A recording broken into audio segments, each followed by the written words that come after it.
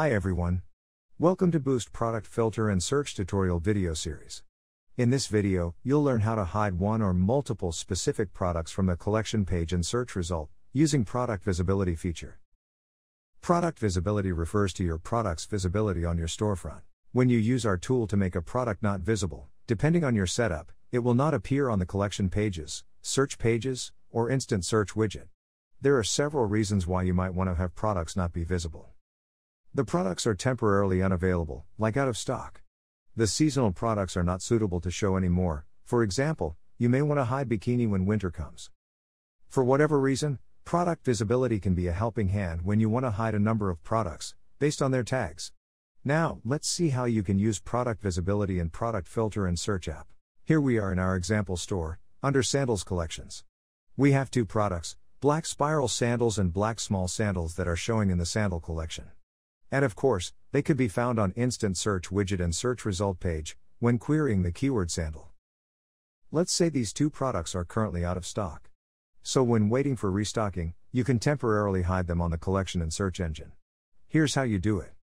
First thing first, you should go back to your product list. Choose products you want to hide, and add a specific tag to mark them. In our case, we will add the out of stock sandals tag to the two products, namely black small sandals and black spiral sandals.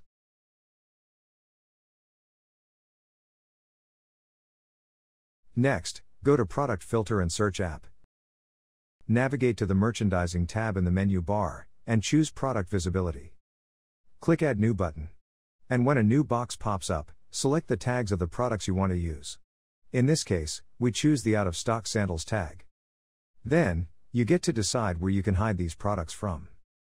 Choose collection page if you want to hide those products from any of the collections those products belong to.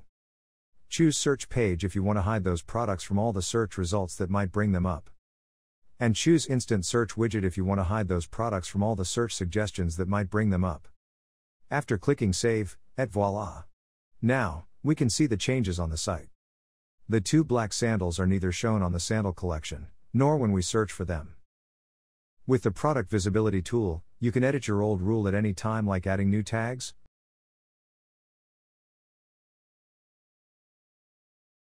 or delete it. Also, adding new product visibility rules is just a piece of cake. Just remember to save whenever you adjust anything. That's the end of our tutorial. Thanks for your watching. Reach us at our email displayed on the screen if you need any further assistance. Don't forget to subscribe to our channels, or follow us on our social platforms for more updates.